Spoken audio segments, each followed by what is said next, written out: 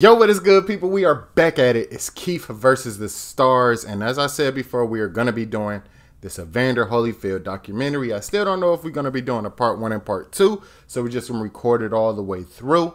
But this was another request for another boxing reaction video. And I like doing these videos. We just did Sugar Ray Robinson. His career was immaculate, crazy. He did a lot of great stuff. So let's see what Evander Holyfield career is going to shake out. I know the air is coming. I know the air is coming. But let's get right to it, man.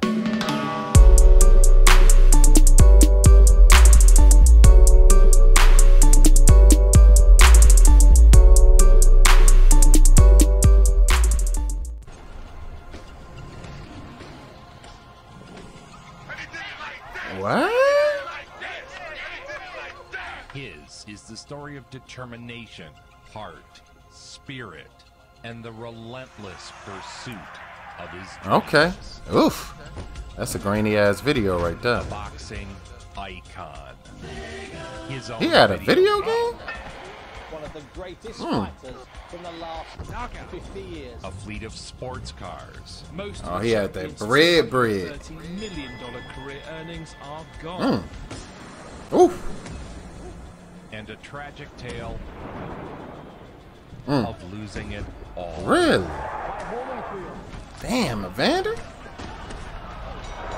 fight has been stopped. That is it for Ricky Myers, who has sustained two cuts around the right eye. Evander, real deal, Holyfield. TKO,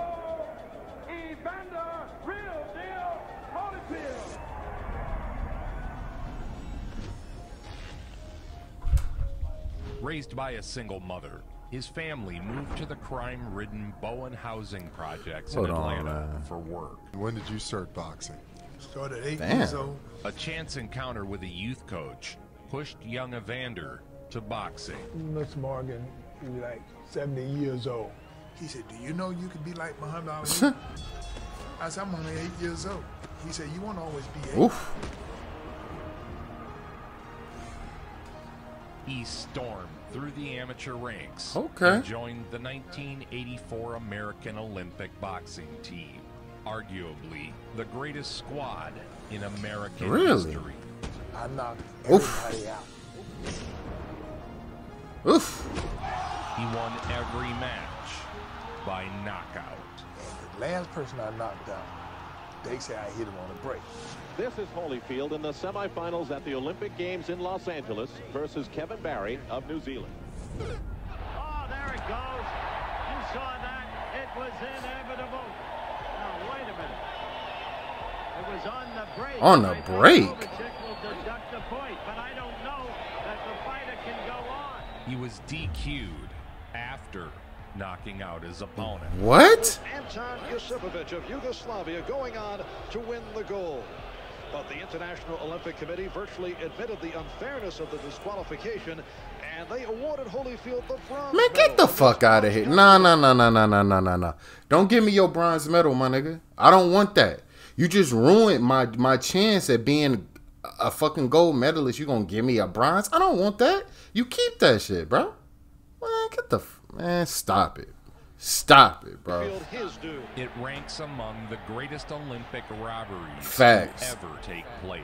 Things happen. Yep. And my mom always told me things happen, good and bad, to good people and bad people. Evander settled for bronze and set aim on a professional career. Another fact, the man we're going to show in the first bout is the best prospect in my opinion. Three knockouts, four, but didn't win the gold. Evander Holyfield. His highly anticipated debut went off without a hit. Here we go in the first round. Watch Holyfield in the red trunks, red, white, and blue from Atlanta, Georgia. He uh, punches extremely Oof. hard with to the body, back to Okay. the head with the left hook, doubling up on it. Okay. He trying to cover up though. He doing a good job. Ugh. He eating some too though. Oof. That one too it's crazy. Ugh. The winner by unanimous decision. In his professional boxing debut, Evander Rio Holyfield. Holyfield was the hottest commodity Facts, in boxing, okay. not named Mike Tyson. After his popularity soared following that provocative disqualification at the 1984 Olympic Games in Los Angeles, Yes, and is a great businessman, and and most of all, he had my my best interest in his heart. His Olympic robbery had elevated him to Mhm. mainstream consciousness and drew the attention of crooked managers and promoters. When You don't have other bodies looking out for you. Everybody taking something for themselves. Man, everybody just stealing, man. They just stealing. Really? Seems that you trusted the wrong people. Well, yeah. With a chance to make a name for himself against Evander Holyfield, whom many feel in a couple of years will be primed for a shot at the light heavyweight Hmm. title. With each fight, Holyfield Mm. improved. That stuns Rivera. Mm. Then Holyfield works on the body, comes back to the head, comes back to the head again with a left. Okay. Okay. Ah, goddamn, boy. Oof. Ew. Boy, stop eating those.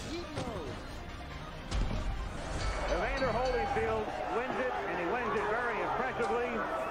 He is now 4-0, his second knockout. He's a gentle human being outside of the ring. He's soft-spoken, but in that ring, he's like a Ray Leonard. He's the, all the great ones have that that uh, that quality. He's just he's the ki- kind of guy if he went back in Greece, he'd have a sword in his hand and be out in the sawdust coming at you. You know, and you wouldn't want to see that. He's a bayonet fighter. He wants to get in there with you, but uh, get close. He doesn't want any fooling around. He's in a fist fight. And he's in against Evander Holyfield, who uh, became such a national figure as a result of a disqualification in the Olympic Games. Okay. The winner of this fight figures to be in line for a title opportunity with Donald Quarry Mm. and uh, Leon Spinks. Not relying Oh. on brute power, but true boxing skill to put his Oof. opponents away. He is finna clap that nigga again.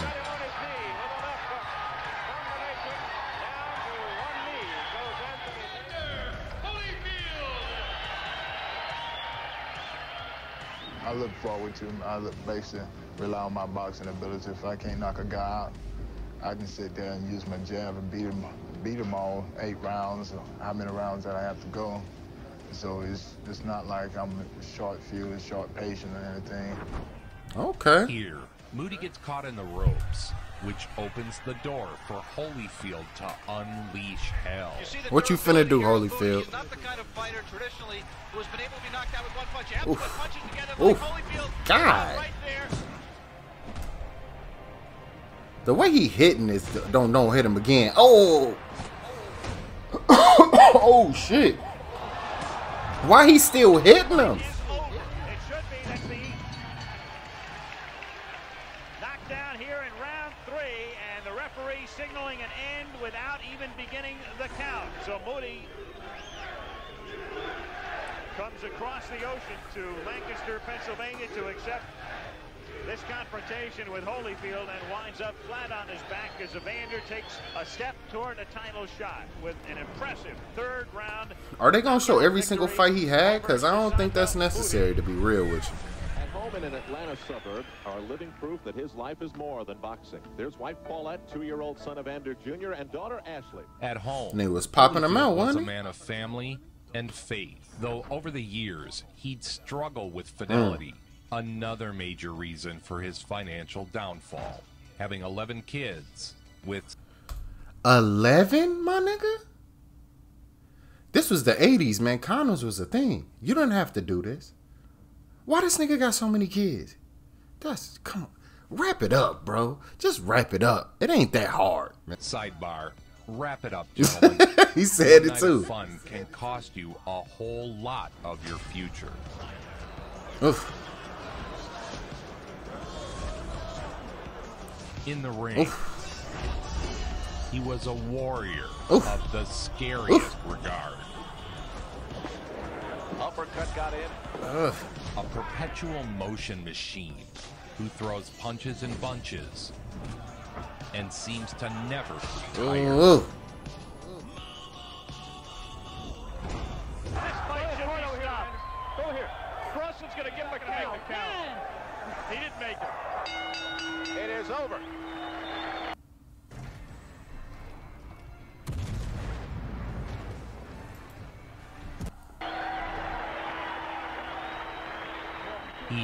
Contend for his first world title. Okay. He now has a chance to become the first of the Olympians to fight for a world title. Is he ready this fast? He has been very impressive in his eight fights to date. He has shown that he has retained uh, his power. He puts punches together very, very Yeah. well. And he has the competitive fire to take on an opponent in, when he's in trouble. 30 years ago this year, you won your first title against Dwight Mohammed Qawi. You ended up in hospital that night. Sure Mm. Uh, you know, it was a very tough fight and my 12th professional fight. Did nobody think I was going to win. They thought I was going to get knocked out. Slapping hands, he goes up into the ring. I didn't come in to get knocked out. I came to win. Do your thing, Evander. Evander Holyfield hearing the cheer. The bell rings, and this is round one. Just two years after his Olympic disappointment, he was fighting for the junior heavyweight title. Dwight Muhammad Qawi was an absolute beast. Mm. Known for his ferocious punching power, he was no cupcake title holder for the young Oof. Holyfield. Beating the champion, he's doing everything he has to do. Many young fighters target a belt held by someone who they Oof. view as beatable. Oof. Couple of big punches from the left and another one from the right. Evander Mm. entered his first title fight Damn. even bet, a coin flip. What ensued was a war. Oof.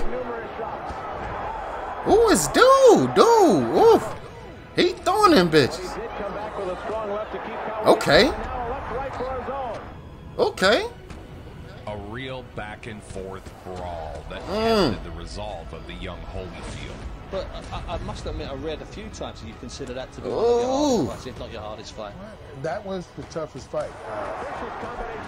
Mm. Dude ain't going. one reason because I didn't have that much experience, and another reason I went 15 rounds. Mm.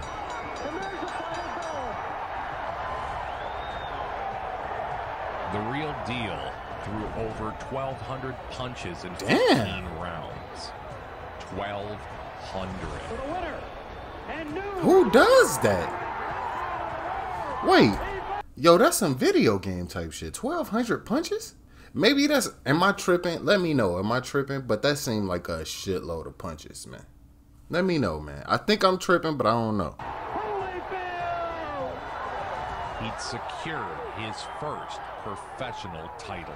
Thank you very much, Alan. Evander Holyfield seemingly more impressive with each outing. And several times during the course of the fight, we heard Al and Alex Wallau refer to the fight in which he won the title, and that was back in July, last July 12th to be exact. It was at the Omni in Atlanta, Georgia, and he took the title from Dwight Mohammed Qawi. Evander had been baptized by Mhm. fire and would be the better for it. Turned pro in November of 84, the night of gold in New York. Took less than two years to win a title. And as I turn now to Alex Wallau, the irony here is that there were nine gold medalists, one silver medalist, and one bronze medalist for the U.S. at Los Angeles. And the man who won the bronze wound up winning the first title. But even though he is champion, I think he has not yet reached his full potential. This is only his 14th professional fight. That's And with more experience, he will get better, especially if he gets that surge of confidence that comes to so many fighters when they win a title. He'd take on former Olympic teammate Henry Tillman. Oof. Hammers. Watch that shit, boy. Did that nigga ball up? He battered Tillman, dropping him four times. Henry, man, don't don't do it to yourself, bro. Just stay down. Oh shit, Henry.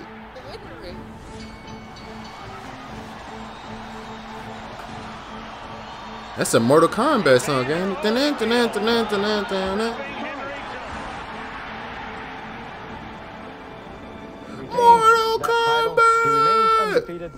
straight. He won by a technical knockout at 143 of the seventh round. Immediately, there was speculation about Holyfield jumping up okay. to heavyweight. But Evander had goals of conquering the cruiserweight division first. He was one of the first guys that figured out how to correctly implement uh, weightlifting training because of Mackie Shilston. We profile Holyfield and the training that he underwent. It's 21st century kind of techniques. They're very involved with Team Holyfield, the kinds of people they have working with. Using free weights and specially designed weight machines, Hallmark has bulked Holyfield up from 190 to 202 without sacrificing any of his hand speed or endurance. Holyfield pushed training to new heights. That's why that nigga look like a superhero. Implementing training in ways boxers hadn't before. The next goal was to keep looking for better and better ways to keep him motivated, to keep him uh, sharp. Conditioning coach Tim Hallmark have taken a unique preparation approach with a futuristic training program that is transforming Evander into boxing first high-tech heavyweight. Better way to train, better equipment to train on. Once one goal's met, there's another goal right behind it. Evander Holyfield is the WBA junior heavyweight uh, champion. Ricky Parkey is the IBF uh, cruiserweight uh, champ. Holyfield scoring with Oof. lefts and rights. Boy, And did hurt. boy, keep your hands up. Ah.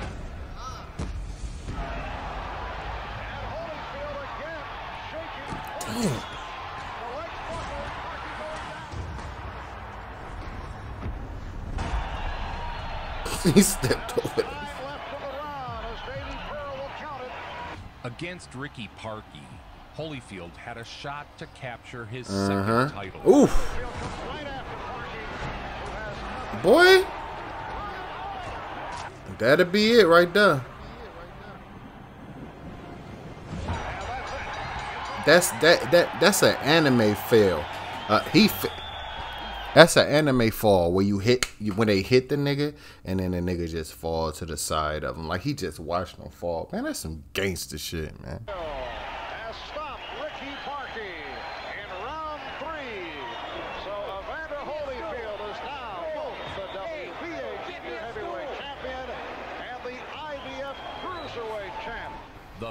The thunderous Mhm. knockout had secured Holyfield the IBF cruiserweight Okay. title.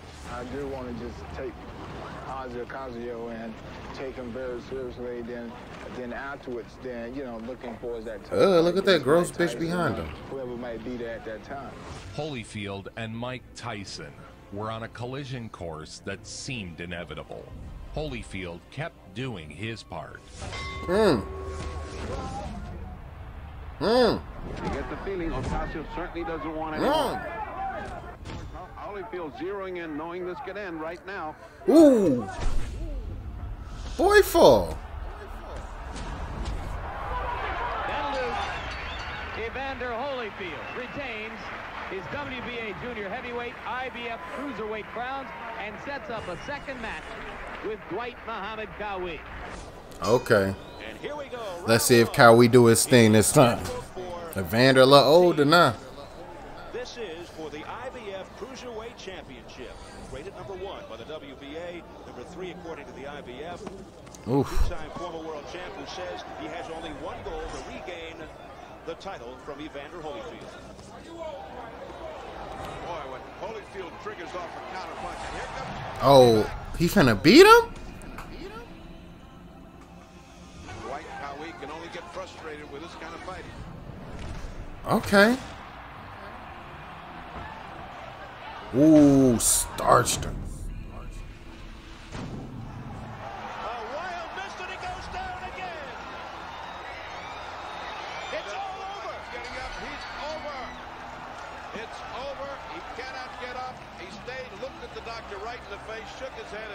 End of that.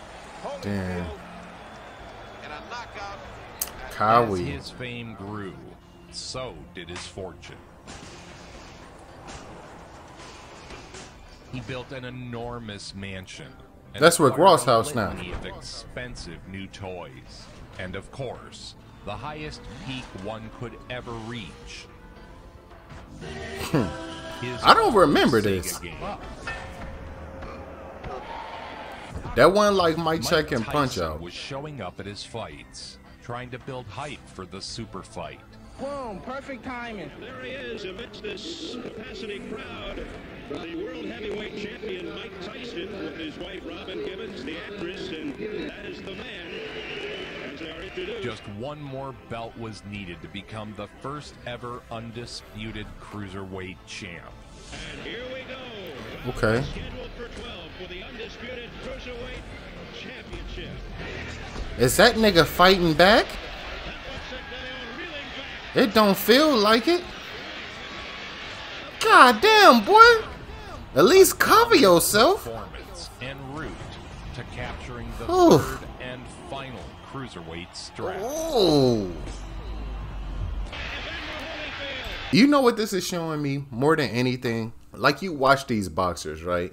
And you see one boxer get beat by another boxer that's a great boxer, like like like Evander Holyfield, Mike Tyson, uh, Joe Louis, and Muhammad Ali. Like you know George Foreman, Muhammad Ali. You see all these great fighters when they fight each other, you get this sense like, oh, he wasn't fucking with him, or he wasn't as good as him. But when you when you watch them fight all these other niggas, it's like, yo, that looked like the greatest shit I ever seen. Then you watch the next person, that nigga look amazing. You get you get an understanding that these people fighting each other should be always should be spectacles because in all actuality you really never know who's better until they fight each other. Because i'm pretty sure these other boxers who was never as big as them had people telling them that they was the greatest too. That's just what i think. I could be wrong. That's what i think though. Oh he made it a round eight. He was probably fighting and just couldn't sustain it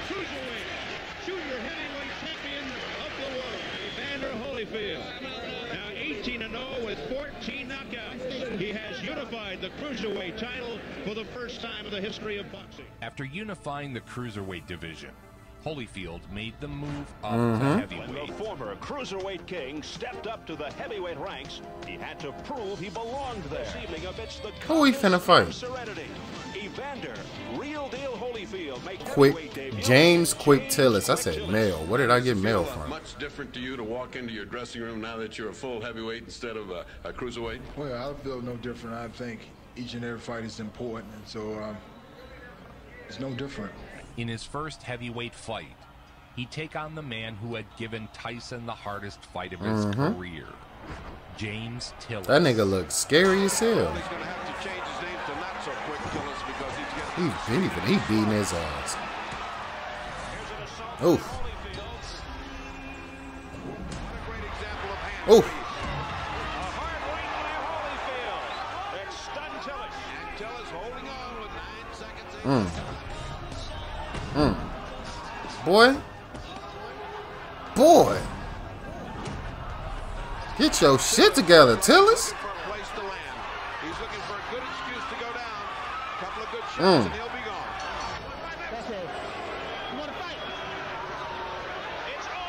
Wow. That nigga gave up. And Steele signaled all over. Evander Holyfield has won, stopping James Quick Tillis after round one. It was a thorough and dominant outing that only raised more questions about Evander from haters. Some Really? Spirit here on the boardwalk at Atlantic City. The Questions about his power and ability to finish Mm, large okay. fighters. Evander didn't knock out Tillis, you recall, and the question still lingers concerning uh, his strength and size in the heavyweight ranks. Holyfield says his hand speed and foot speed will uh, be the difference. The 26-year-old Evander Holyfield has uh, given up his World Cruiserweight Championship, and he has set his sights on Mike Tyson in the World Heavyweight Championship. In a Christmas outing, as rated by Ring Magazine. Here Okay. is the real deal. Evander Holyfield. He only got 19, 19 fights. That happens from time to time. And they were saying, get off first, get the punch off Oof. first. Okay. And there he did. And Pinklon, he's hanging on. Oof. Okay. Oh, okay. As Holyfield doubled up Okay.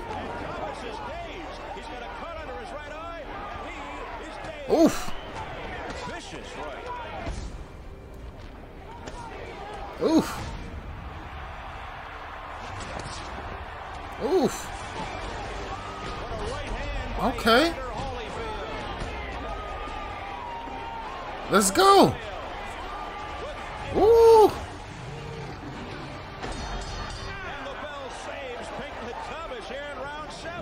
It was a holiday beatdown that saw Thomas quit on his stool between rounds. That's it. That's He it. pummeling these niggas. And now 20 and 0 with 16 knockouts overall.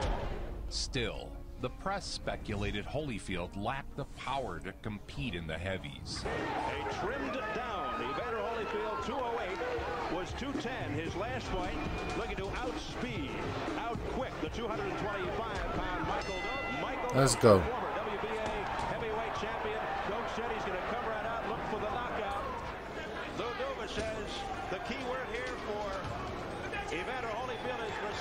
It was against former champion Ooh. Michael Dokes that many believed Holyfield's heavyweight Ooh. dreams would come to an end.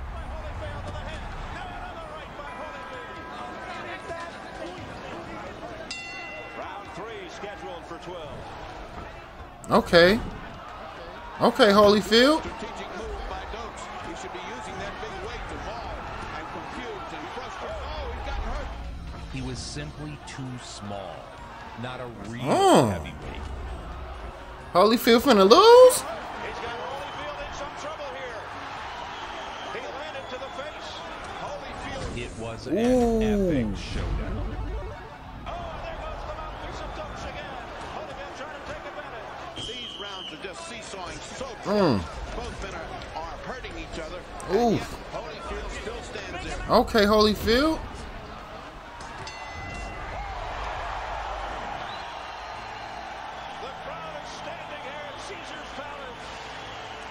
Let's go. Aimed to squash Holyfield, who he viewed as Oof.